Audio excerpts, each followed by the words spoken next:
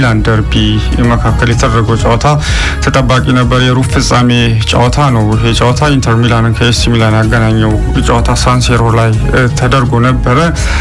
በኢንተር ሚላን ሁለት ለአንድ አሸናፊነት ተጠናቋል። ብዙ ድራማዊ ክስተቶች ጭምርን ያስተናገደ ጨዋታ ነበር። ትናንትና ግብ በማስቆጠሩ ረገድ 31ኛው ደቂቃ ላይ ኤሲ ሚላኖች ቀዳሚ ነበሩ በዝላታን ኢብራሂሞቪች አማካኝነት። በጣም ድንቅ ጎል ነው። ያው ልምድ ካለው ተጫዋች የሚጠበቅ ጎል ነው ማስቆጠር የቻለው። 45ኛው ደቂቃ ላይ በሮሜ ሉካኩና በዝላታን ኢብራሂሞቪች መካከል የነበረው ሰጣ ገባ ነበር። እንግዲህ ለዚህ ለውጤቱ መቀየር እንደዚሁም ደግሞ በማህበራዊ ትስስር ገጾች ላይ በመገናኛ ብዙሃኖች ላይም ርዕሰ ወሬ ራሱን ችሎ ማለት ነው ይሄ አጋጣሚ ሆኗል። ሁለቱ ማለት ነው ግንባር ለግንባር ተገጣጥሞ ማለት ነው ሁለቱ ሲዛዛቱ የነበረበት አጋጣሚ አስገራሚ ነበር። ይሄ ጉዳይ 45 ደቂቃ ላይ ተከስቶ ወዲያው ነበረ ለሁለቱም ቢጫ ካርድ የእለቱ አልቢትር ፓውሎ ቫሌሪ ሰጥተው ወደ መልበሻ ቤት ያመሩት። ወደ መልበሻ ቤት ደግሞ ሲያመሩ ሁለቱ ማለት ነው ለመደባደብ ለገላጋይ ጭምር ሲያስቸግሩ እንደነበር ተመልክተናል። ትናንትና ቃላት ጭምር ተሰናዛዝሮ ነበር የተባለው። መገናኛ ብዙኃኑ እያስነበቡ እንደሚገኙት ያው የ F ቃልን ተጠቅሞ ሮሜሎ ሉካኩ ዝላታንን እንደዚሁ ሰድቦታል ተብሏል። ዝላታን ደግሞ ውጪ ላይ እንገናኝ ወይም ደግሞ ከስቴዲየም ውጭ እንደባደብ የሚል ቃል ተናግሯል ተብሏል። እና በማህበራዊ ትስስር ገጾች በጣም ብዙ አስቂኝ ሚሞች የተሰሩ ነው የሚገኙት። እና ያው ዝላታን እንደሚታወቀው martial art በ martial ስፖርት የሚታወቅ ተጫዋች ነው እና ሮሜሎ ሉካኩ ከዛ በኋላ ተጸጽተዋል የሚሉ ሜሞች ጭምር እየወጡ ነው የሚገኙት እና ያው ዝላታን ለራሱ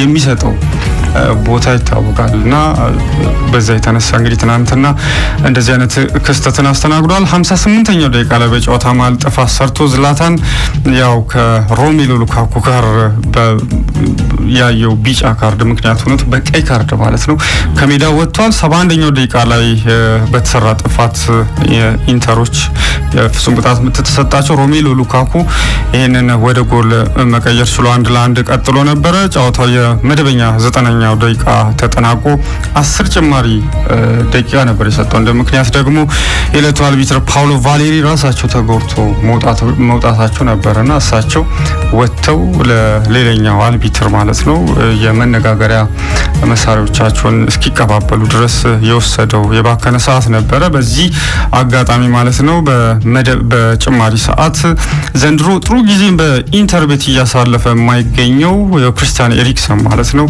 በቅጣት ምት ቅጣት የምታስቆጥሮ ይታወቅበታል። የተጫዋች ቶተንሃም ስፐር በነበረበት ጊዜ ምናልባት ትናንትና በሚላን ደርቢ ሶስት ነጥብ እንዲያገኙ ያስቻለው ክርስቲያን ኤሪክሰን ክሷቸዋል ማለት ይቻላል። ያው ያልተጠበቀ የወረደ አቋም እያሳየ ነበረ ተጫዋች ነው። እንዲሁም ወደ ቶተንሃም ስፐር በድጋሚ ይመለሳል የሚሉ መረጃዎች እየወጡ ነው የሚገኙት። በዚህ ጊዜ ትናንትና ኢንተር የደርቢውን ጨዋታ አሸንፈው እንዲወጡ አስችሏል። በፕሪሚየር ሊጉም የሀያኛ ሳምንት ጨዋታዎች መደረግ ጀምሯል። ትናንትና በርከት ያሉ ጨዋታዎች ተደርገዋል። ክሪስታል ፓላስን ከዌስትሃም ጋር ያገናኘው ጨዋታ በዌስትሃም ሶስት ለሁለት አሸናፊነት ተጠናቀቀ። በጣም ማራኪ በእንቅስቃሴ የታጀበ ጨዋታ ነው ማለት ይቻላል። ይሄ ጨዋታ ትናንት ገና ሶስተኛ ደቂቃ ላይ ዊልፍሬድ ዛሃ ክሪስታል ፓላሶችን ቀዳሚ አድርጎ ነበር። ነገር ግን በቶማስ ሹሴክ ሁለት ግቦችና በክሬግ ዳውሰን ቀሪ ጎል ሶስት ግቦችን እንደዚህ ዌስትሃሞች ማስቆጠር ችሏል። በጭማሪ ሰባተኛ ደቂቃ ላይ ሚቺ ባትሸዋይ ለክሪስታል ፓላስ ማስተዛዘኛውን ሁለተኛውን ጎል እንደዚሁ አስቆጥሯል። ትናንትና ኒውካስልን ከሊድስ ዩናይትድ ጋር ያገናኘው መርሃ ግብር በሊድስ ሁለት ለአንድ አሸናፊነት የተጠናቀቀው ይሄ ጨዋታ በመጀመሪያ ዙር ማለት ነው አምስት ለሁለት የተጠናቀቀ ጨዋታ እንደነበር እናስታውሳለን። በዚህ ዓመት ትናንትናም በድጋሚ ሊድስ ሁለት ለአንድ አሸንፈዋል። አልሚሮን ለኒውካስል ራፊኒያና ጃክ ሃሪሰን ደግሞ ለሊድስ ጎሎቹን አስቆጥሯል። ብሮሚች አልቢዮንን ከማንቸስተር ሲቲ ጋር ያገናኘው ጨዋታ በሲቲ አምስት ለዜሮ አሸናፊነት ተጠናቀቀ። ይህ ጨዋታ ከመደረጉ አስቀድሞ ፔፕ ጋርዲዮላ ለቢግ-ሳም ያለውን አክብሮት እንደሚያደንቃቸውም ጭምር እሳቸው እንደውም genius አሰልጣኝ ናቸው የሚል አስተያየት ሰጥቶ እንደነበር ይታወቃል።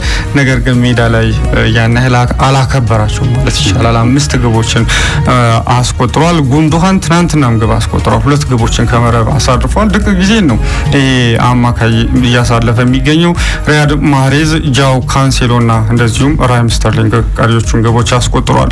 የሳውዛምተንና አርሴናል ጨዋታ በአርሴናል ሶስት ለአንድ አሸናፊነት ተጠናቋል። የኤፍኤ ካፑን ሽንፈት ትናንትና ተበቅሏል ማለት ይቻላል። ማይክል አርቴታ ግብ በማስቆጠሩ ረገድ ሳውዛምተኖች ገና ሶስተኛው ደቂቃ ላይ በስቱዋርት አርምስትሮንግ አማካኝነት ቀዳሚ መሆን ችሎ ነበር። ነገር ግን ስምንተኛው ደቂቃ ላይ ወዲያው ኒኮላስ ፔፔ ምላሽ ሰጥቶ አንድ ለአንድ ቀጥሎ ነበር። ከዛ በኋላ ቡካዮ ሳካ በጣም ጥሩ ጊዜ ነው እያሳለፈ የሚገኘው። እንዲሁም ከጨዋታ በኋላ ማይክል አርቴታ ያለ እድሜ የበሰለ ተጫዋች ነው ብሎታል። 19ኛ ዓመቱ ላይ እንደሚገኝ ይታወቃል። በዚህ እድሜው ብዙ ገድሎችን እየሰራ የሚገኝ አርሴናልን ጭምር እየታደገ የሚገኝ ታዳጊ ነው ብሎታል። አሌክሳንደር ላካዜትም ትናንትና ግብ አስቆጥሯል። ቡካዮ ሳካም assist ያደረገለት ወይም አመቻችቶ ያቀበለው አሌክሳንደር ላካዜት ነው። ትናንት ግን በጣም ግልጽ የሚባል clear cut chance የሚባል ፍጹም ግብ ማስቆጠር የሚችልበትን አጋጣሚ ትናንትና አምክኗል። ትናንት ላካዜት ነገር ግን ክሷቸዋል። ሶስተኛውም ግብ እንደዚሁ ትናንት አስቆጥሯል። ዛሬ በሀያኛው ሳምንት የሚደረጉ መርሃ ግብሮችን ጠቅሼ ላብቃ። በርንሌ ከአስቶን ቪላ፣ ቼልሲ ከወልቭስ ቱሄል የመጀመሪያ ጨዋታቸውን ዛሬ ያደርጋሉ። ምሽት ሶስት ሰዓት ላይ የሚደረግ ጨዋታ ነው። ብራይተን ኤንድ አልቢየን ከፉላም፣ ኤቨርተን ከሌስተር ሲቲ አራት ሰዓት ከሰላሳ እና አምስት ሰዓት ከሩብ ላይ የሚደረጉ ጨዋታዎች ናቸው። ማንቸስተር ዩናይትድ ከሼፊልድ ዩናይትድ እንደዚያ አምስት ከሩብ ላይ ይደረጋል። ነገ ሊቨርፑል ከቶተናም ደግሞ ተጠባቂ ጨዋታ የሚደረግ በሌላ አጋጣሚ ትናንትና ቶማስ ቱሄል በይፋ የቼልሲ አሰልጣኝ ሆኖ መሾማቸውን ክለቡ ትናንትና በይፋ አሳውቋል። የ18 ወራት ኮንትራት ነው የፈረሙት ትናንትና። ነገር ግን ለሌላ ተጨማሪ ጊዜም ይህ ኮንትራት የሚቀጥልበትም አንቀጽ ተካቶበታል ተብሏል። አጠር አጭር የሚባል ኮንትራት ነው በነገራችን ላይ የተሰጣቸው። ፍራንክ ላምፓርድ የሶስት ዓመት ኮንትራት ተሰጥቶት እንደነበር የምናስታውሰው ጉዳይ ነው። እሳቸው ትናንትና ና ፊርማቸውን ካኖሩ በኋላ በቼልሲን ለማሰልጠን በመቻሌ ኩራት ይሰማኛል። የተለመደ አሰልጣኞች ክለቦችን በሚይዙበት ጊዜ የሚናገሩትን አይነት አስተያየት ትናንትና ቶማስ ቱሄል ሰጥቷል። እሳቸው እንግዲህ እንደሚታወሰው ከ2018 እስከ 2021 በፓሪስ ሰን ጀርማ ቤት ቆይታ ማድረጋቸው ይታወቃል። አምና ፓሪስ ሰን ጀርማ የቻምፒዮንስ ሊግ የፍጻሜ ተፋላሚ እንዲሆን ያስቻሉ አሰልጣኝ ናቸው። በተለይ ደግሞ ከክለቡ sporting director ሌዮናርዶ ጋር በነበራቸው ችግር ነው ከክለቡ የተሰናበቱት እና በተለይ ደግሞ ቼልሲ ቤትም እንደዚህ አይነት ባህሪ ያላቸው ባለስልጣናት የሞሉበት ክለብ ነው እየተባለ ነው የሚገኘው። የእሳቸው ባህሪ ተደጋግሟል የተባለው በቦሩሲያ ዶርትሙንድም ከ2017 ጀምሮ በተለይ ከ2015 ጀምሮ በቦሩሲያ ዶርትሙንድ ቤት ቆይታ ሲያደርጉ 2018 ላይ ሲሰናበቱ እንደዚሁ ከዋና ስራ አስፈጻሚ ሀንስ ጆዋኪም ዋዝኬ ጋር እንደዚሁ ተጣልቶ ነበር ከክለብ የተሰናበቱ እና ተመሳሳይ የስንብት ምክንያት ነው የቀረበባቸው በፓሪስ ሰን ጀርማን በቦሩሲያ ዶርትሙንድ ቤትም ቼልሲ ቤትም እንደዚህ ሊገጥማቸው እንደሚችል እየተነገረ ነው የሚገኘው ከወዲሁ። ነገር ግን የእሳቸው የግል ባህሪ በተለይ ለተጫዋቾች መልበሻ ቤቱን ለማረጋጋት የሚመች ነው እየተባለ ነው የሚገኘው። በሚንዝ ከ2009 ጀምሮ ለአምስት ዓመታት እንደዚሁ አሰልጥኗል።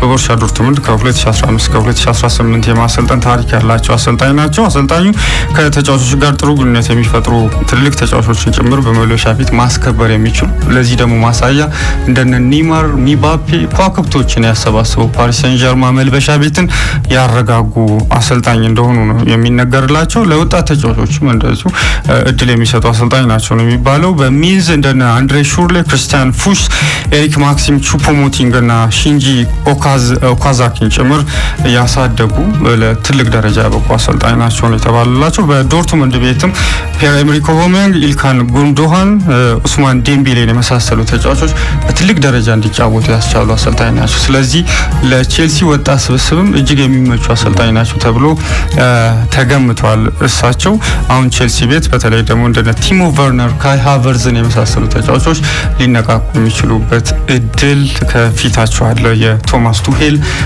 ቼልሲን መያዝን ተከትሎ ተብሏል። የአታላንታው አሌሃንድሮ ጎሜዝ ለሲቪያ ፊርማውን ማኖሩን ትናንትና ክለቡ ሲቪያ አሳውቋል።